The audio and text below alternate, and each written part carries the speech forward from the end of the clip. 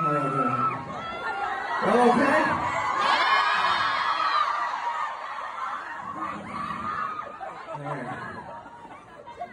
So we're gonna slow it down for a quick second. Uh, TED Talk. So, thank you. So, my mother, after the controversial issue of body, the following year she pulled me aside after my show and, like any Asian mother would, she said, Hey, I'm so glad it's done. I was like, Thank you? Like, yeah, every time I watch you, I have severe anxiety. And I was like, what? Why? Because I know you're going to mess it up.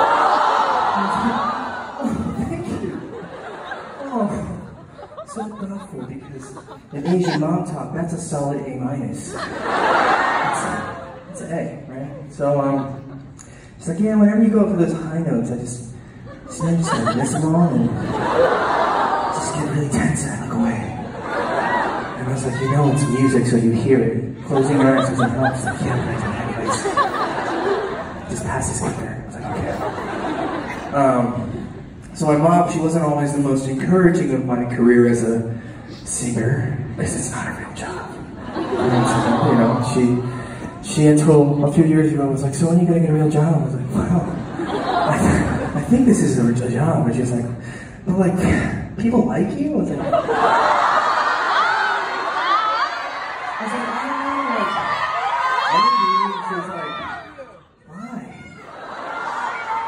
And she's like, when people like know you? I was like, yeah. She was like, are you sure? And as she's saying this, a bus with my face on it. Like, Mom, that's me. She's like, that's not you. That is a Photoshop version of somebody else. So, it's all good though, you know, she's she's come around, she's becoming more supportive and she uh, she likes coming to my shows now and she's not as stressed. And it's very offsetting. I, I, I wondered why is this happening? And I, I realized that she's becoming more uh, American. And uh, I try to find the source, the root of this this change. And I realized it's because my brother Eddie recently got married. So Eddie recently got married. I have a new sister. Her name's Brittany. She's amazing. She's awesome. She's uh, much smarter than Eddie, probably. He definitely married up. And uh, yeah, it's my brother. My God, let's hear this stuff. And so uh, I, I like her more than I like Eddie. I like their dog more than I like the both of them. It's a beautiful dog. Um, so my mom, you know, well here's a catch. She's not Korean, right?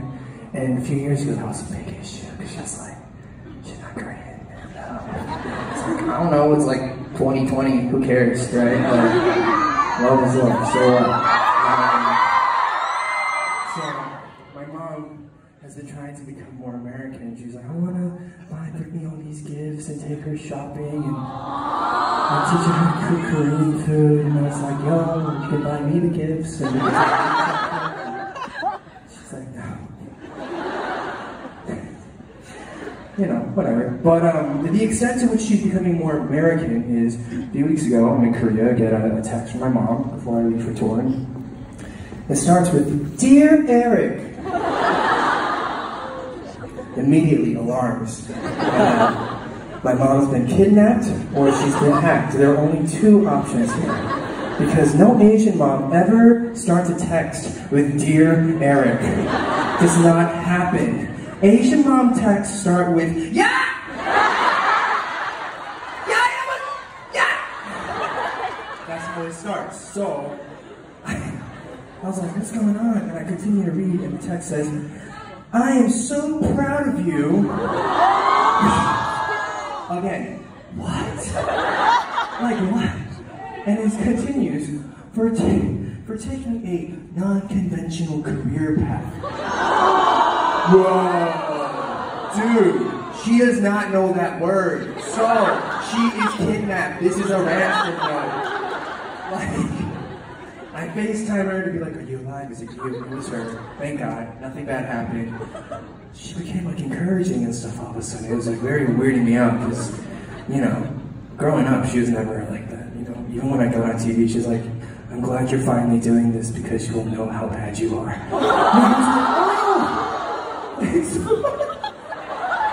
so again, imagine my surprise when I get this text. So, but she's coming around. She's like, yeah, yeah. You know, after the Atlanta, she's like, I want to come back. Can I come to the show? I was like, yeah, cool. Like, love you too. Thank you. And people are always like, why are you telling this story in the middle of a concert? This talk is going like five minutes too long. I know. But there's a reason and there's a point to it. The reason I tell this story is because it's the, it's the best way for me to describe and give you context on how appreciative I am for each and every one of you for being here tonight at this show. Took me almost nine to ten years to be able to do this massive tour and to be able to sell out this venue in Vancouver. Uh, took me nine to ten years in a country where I didn't really speak the language, I didn't know what was going on, to make it as a singer because I didn't have any other opportunities anywhere else. So, you guys being here is a hopefully not only just a good time and a great show and a great experience, but it is a statement from each and every one of you that you are for inclusion and diversity and representation in music. And for that, as an Asian American Southern kid from Atlanta, Georgia, who talks like this sometimes, it means the world to me. So thank you so much for coming.